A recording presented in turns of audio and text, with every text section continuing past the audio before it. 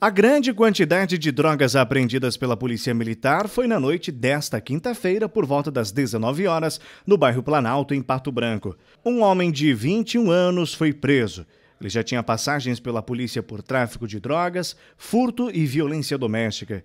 De acordo com a polícia, a droga veio de Foz do Iguaçu e havia chegado nesta quinta-feira em Pato Branco. A equipe da Agência Local de Inteligência recebeu denúncia via 181 de que em uma residência no bairro Planalto estaria sendo utilizada como depósito de drogas e que um veículo Clio, Renault Clio de cor branca estaria sendo utilizado para realizar esses transportes, essas transações de drogas aqui no município de Pato Branco.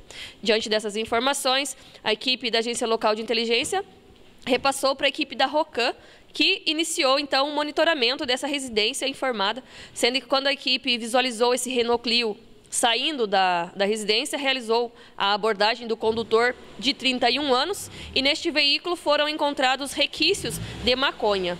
Diante disso, a equipe foi até a residência, onde foram localizadas mais de 100 quilos de substância análoga à maconha. Diante disso, o condutor desse Renault Clio e, e proprietário da residência é, recebeu voz de prisão e irá responder pelo crime de tráfico de drogas.